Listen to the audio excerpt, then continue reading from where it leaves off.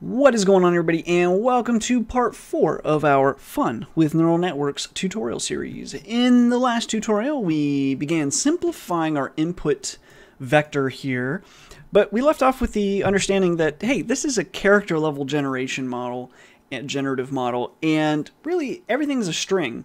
Uh, so we don't actually have to adhere to any array or any other structure at all. We can change this to be anything we want. So Let's make some of those changes and then build our training set and then hopefully all in the same tutorial begin training and see what we can come up with. So uh, to begin, and actually I think I'm going to make a slight change to the text-based version of this tutorial and then we'll see which one does better because actually I have an idea of how I want to change it. So I'm actually going to change it. Anyway, let's get started. So, so the first thing is um, we want to like what it like right here we could print what if we print string pixels? String. Okay string pixels um, so we'll convert pixels to a string and then we're going to re dot replace any spaces with no spaces. Run it. Ship it. We're ready just zoom out because we'll be ready to see it. what an ugly, I guess that's a seven. Yeah, seven. Okay, so there's our data set. I mean, that was a hard number to, to recognize. Let's just do another one real quick. Um, but you could you could recognize it still. Okay, there's a three. It's clearly a three. And now the data is even more condensed. We just saved like 30% of our space. Actually, more than that. Probably half of the space, or close to half, because there was a space for everything. So we just saved a ton of space. Okay, so what we want to do now is begin to, um, like, so we could do the same thing with the label, but I'm not going to waste time with that. Um, just understand that that's what we're going to do. So now, what I want to do is we want to build this training set. So how are we going to do that? So if we look in the text-based version of the tutorial, basically what I wanted to do, or my idea, was to take, you know, this bit right here. So this would come first and then it would all so the number would come first and then it would always be followed with whatever the class of that number is. So then the the my proposal is that we could take any number, right, from the validation set, convert it just in this exact same way, feed that in as the primer, and then the output should be the one hot vector. And in fact, we could even leave spaces in that one, but I'm not going to do that. I'm not even going to keep that. So in the text-based version of this tutorial, um, we did convert it out to be to to to a one hot vector. Now since then, and since I did the generative model, I actually did the generative model in a slightly different way, and I'm curious if I should do that, do that method instead. I don't think it's going to make any difference the other way. Be it's really challenging. I really don't know. Uh, I'm going to try it because it worked the other way, so I'm going to reverse it. I know that doesn't mean anything to you at the moment, but like I said, I'm going to change the text-based version. So, um, so yeah, so basically our training data will look just like this, only uh, this will be condensed as well. And then you just do that, maybe new line, new line for the next classification, and just keep doing that. So we're going to build a training set that looks like that. So let me, uh, let's do, I kind of want to, since I already know um, in our MNIST data set, I'm going to do two things. One is we're going to try to classify numbers, and the other, we're going to try to go the other way, where we say, hey, draw this number. So I'm going to make a directory called classify. Heading back into our script now, what I'd like to do is, I think we'll keep all of this, but I'm actually going to, I'm just going to delete all of this code, and we're going to write out the new version uh, that we're going to be working with. So I'm actually going to say next batch we'll do 10,000 samples. And I, let's just do it all. Like let's just do all the all the samples. I think it's like I can't remember. I want to say there's only 40,000. I'll just do this and we'll do all of them whatever that number happens to be. So now what we're going to do is I'm just going to fix that and zoom in, scroll down a little bit and begin.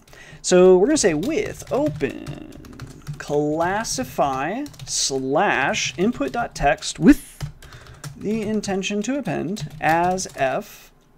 Then we're going to say for i data in enumerate. And in fact, I'm trying to, yeah, in enumerate um, batch x's. What do we want to do? Well, um, we also could zip these together and then iterate through them. I'm just doing it this way so I don't have to do that, but that would actually be the Pythonic way to do it.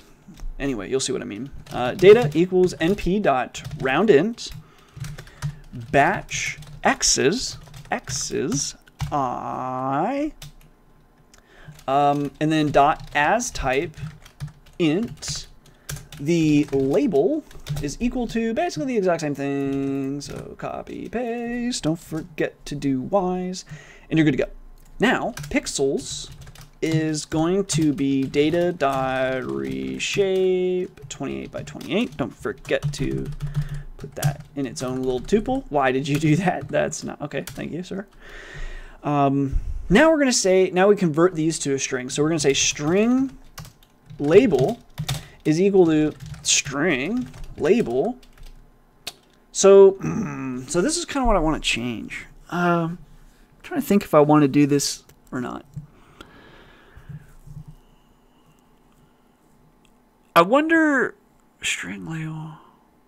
I think what I would like to do is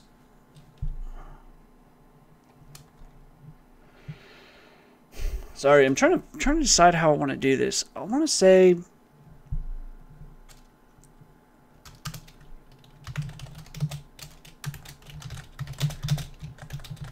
I think I'm going to do this. np argmax the label. And then uh, I'm trying to remember how you can make because you could do like np zeros, ones. Um, like I just want to make a long array of, of what the number actually is. I don't know that this is actually going to work the other way. Um, let me pause this for a second while I think about how I want to make this change. Okay, what I'm going to do is, yeah, index underscore value is going to be np.argmax of whatever the label is. And then we're going to say new underscore label is equal to the np.array of 100 times whatever the index value is. So it'll be a, let's say the index value, let's say it's a 2. The index value will be a 2, and then 100 times that will be just like this array that's 100 twos, okay?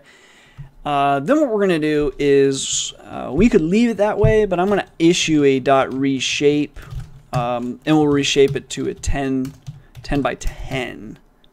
So that's our new label. And at this point, it should be already as this, so it'll look kind of like this, only this isn't quite it. Um, yeah, I'll just do, we'll print this out. So let's just print uh, new label. Whoops.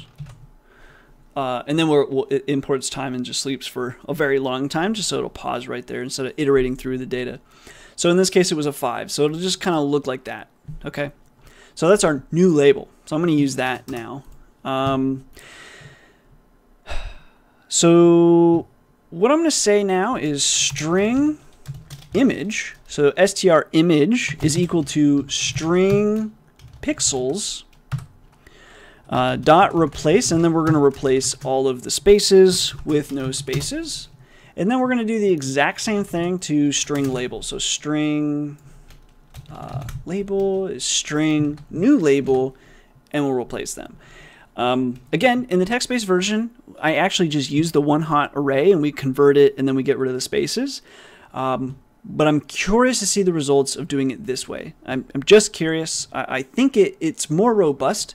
Um, so when you use the one hot array, it only has like one opportunity to get it right. And if it screws up one, boom, the whole game is over. Um, so I'm curious if this will make it better or not. I really don't know. I don't have the answer to that. We're going to find out.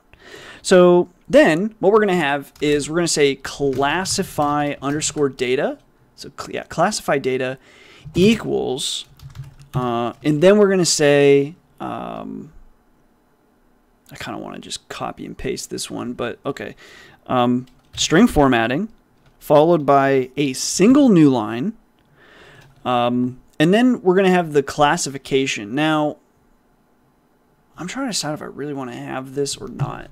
If I want to do, because sometimes you want to like have some sort of dictation of, of what, what, um, what's your classification versus what is your um, input data because they're both going to be array values. I think I will. I think I'll